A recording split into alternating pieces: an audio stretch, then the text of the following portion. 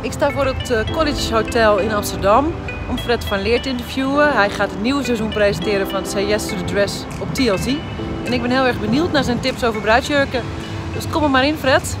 De eerste dag dat ik ging draaien dacht ik, oh kanon, hoe ga, zo'n grote locatie. Hoe ga ik dat in heen? Maar, maar het, is, het blijft, het verveelt nooit. Hele toffe twee weken, we hebben twee weken opgenomen. Twee, twee, uh, twee bruiden op een dag.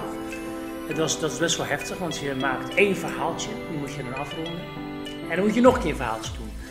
En dan ben je naar de eerste ben je wel moe, maar dan, dan staat weer een bruidje te trappelen die echt met haar hele ach, achterban een jurk wil, uh, wil vinden. En je, ja, daar gaan we weer. Dan is het super tof.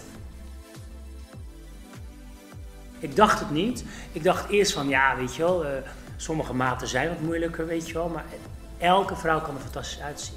Want het gaat om, om dit. Het gaat om de emotie die je hebt bij een jurk. Nee, ik zie niet meteen wat het moet worden. Ik zie wel wat het meteen niet moet worden. Dus dat is het wel. Dat ik mezelf, oh ja, want heel veel vrouwen die komen binnen en die hebben toch in hun hoofd hè, de prinsessenjurk, Assepoes, weet je wel. En uh, uh, dan denk ik, jij bent heel klein en heel fragiel. En dan moet je niet zo enorm naartoe, dan verdwijn je in. Maar dan gaan we dat wel even laten zien, want zodat zij het ook hebben gezien. En dan uh, daarna gaan we op zoek naar gewoon een jurk die, die zij en heel mooi vindt en waar ze geen lekker in voelt.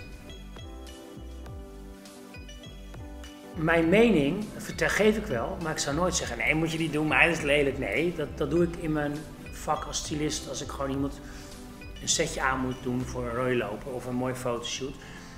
Maar dit is een bruidsje, er zit een emotie achter. En ik, ik kan nooit, die emotie kan ik nooit voelen.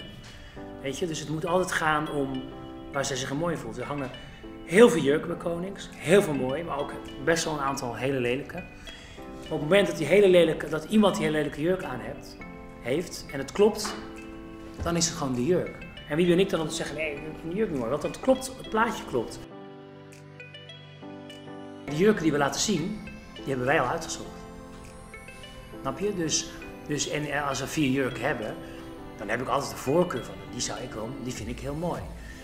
Maar het, het moet niet om mij gaan. Het moet gaan om die die gaat erin trouwen, weet je wel. Het is, de meest bijzondere jurk die je ooit aan hebt waarschijnlijk.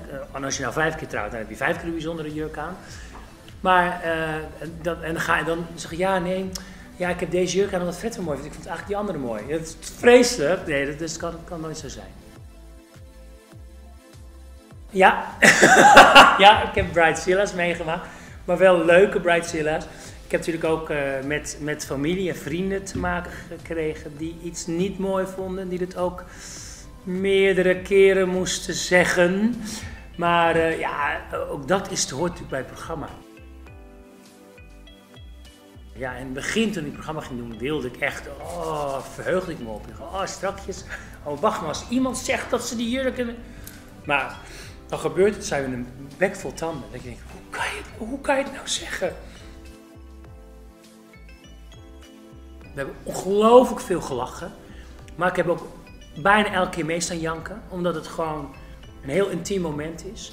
En vaak met een, hè, als je het verhaal erachter al weet wat er eventueel speelt of heeft gespeeld. En dan dat je iemand in tranen ziet, ja dan ga je mee. Dan sta ik ook weer te janken. Oh, dat wil je niet. En ik heb een hele lelijke snik, weet je, zo.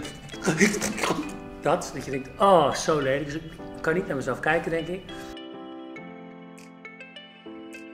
We hebben een, een heel mooi aanzoek van een, een, uh, een, een, dame die, uh, die haar vriendin ten huwelijk wil vragen. En dat ga ik dus regelen. Dus ik kom haar ophalen met haar entourage in een, in een knalroze hummer, met z'n allen erin, op, op, op, op, op weg naar het bedrijf waar zij werkt. En dan ben ik naar binnen gelopen, haar opgezocht en ik heb gezegd, luister schat, jij moet me meekomen. Ja, wat dan, wat dan? Kom met mij? Nee, wil ik niet. Jij moet me meekomen. En dan heeft ze beneden bij de zaak, waar iedereen wat stond te kijken, heeft ze haar vriendin te huwelijk gevraagd. En dat is, dat is helemaal bijzonder dat je daar ook bij bent. We hebben een heel mooi verhaal van Peggy die, die is uitgehuwelijkt. En uh, nou, dat, is, dat is natuurlijk afgerond. Ze heeft nu de man van haar droom ontmoet. Dus ze heeft dit keer wel de eigen man mogen kiezen. En dus ook de eigen jurk. En dat is een heel mooi verhaal met haar dochters. Uh, ja, het zit gewoon, en er zit een hele mooie verrassing in dat verhaal. Te gek. Dan hebben ze een jurk aan, en dan nog een jurk, nog een jurk, en dan doen ze toch weer die e-, ene jurk aan, en dan, ja, en dan de sluier, hè, vaak. En dan zit daar de moeder die. dan hoor je dat al. Denk ik, oh, en dan ga ik. Want ik ga altijd, als ik, als ik de moeder hoor, hij, of de schoonmoeder of iemand. En dan, ja, dan klopt het. Iemand een, een leuk jasje aan, aanmeten of een leuk pak of whatever, dat is al tof. Maar iemand helpen met, met de bruidsjurk, ja, dat is gewoon heel bijzonder, heel emotioneel, heel intiem moment is dat. Dus dat is echt te gek. Nee. Nee, ja, heel kort. Nee, nee ik, ik, um, ik ben vrijgezel, ben ik al heel lang. En uh, als het mij, me ligt, ben ik dat nog heel lang. Ik vind het eigenlijk wel heerlijk. Nee, je weet nooit hoe het loopt natuurlijk. Maar het daadwerkelijke trouwen, nee, daar heb ik niet zoveel mee. Ik vind het, hè, nogmaals, vrienden waren ook getrouwd, ook uh, homo stellen, vrouwen stellen. Ik zelf heb gewoon niet, zo, niet zoveel mee daarmee.